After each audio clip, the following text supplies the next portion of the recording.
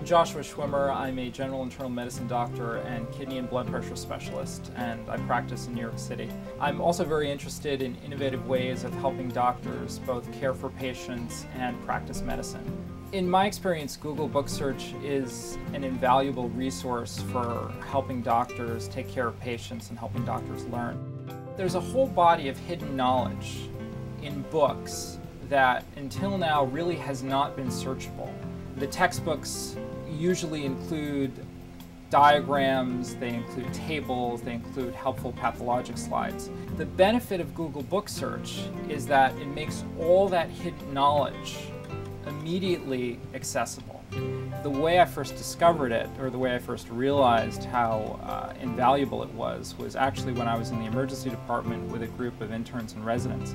And we were taking care of a patient who might have had a condition called necrotizing fasciitis. This is a condition that can be rapidly fatal. It's also called the flesh-eating bacteria, and it's something that has to be diagnosed very quickly.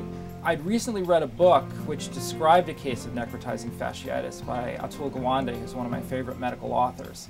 And I wished I had the book in front of me, and I realized, well, maybe it's on Google Book Search. And so I punched up Atul Gawande necrotizing fasciitis, and there it was, the exact page that I needed. And I could show it to all the physicians.